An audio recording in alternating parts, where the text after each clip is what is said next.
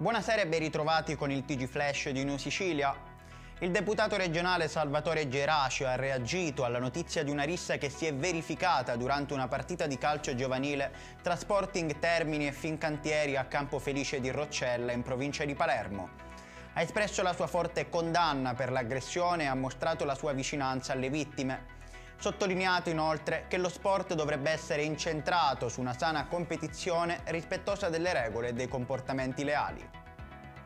Ieri pomeriggio gli agenti di Sant'Agata di Militello hanno eseguito un'ordinanza arrestando un diciottenne sospettato di aver commesso un furto aggravato in collaborazione con altre persone ancora da identificare.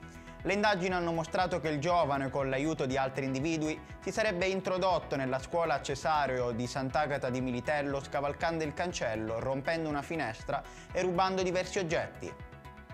A Catania alcuni migranti stanno coltivando ortaggi su mezzo ettaro di orto sociale fornito dall'Istituto Tecnico Agrario Filippo Eredia tra il litorale della Playa e la zona industriale.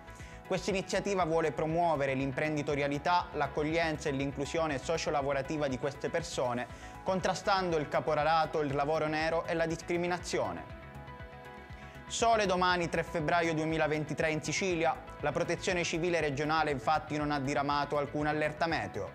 Scongiurato ogni possibile rischio, cieli quindi tutto sommato sereni tranne qualche nuvola passeggera su Palermo. Le temperature si mantengono piuttosto basse ma in risalita. Le province siciliane più calde risulteranno essere, secondo le previsioni meteo, Catania e Siracusa con massime di 17 gradi. Ed è tutto per questa edizione, il prossimo appuntamento sarà domani alle ore 10.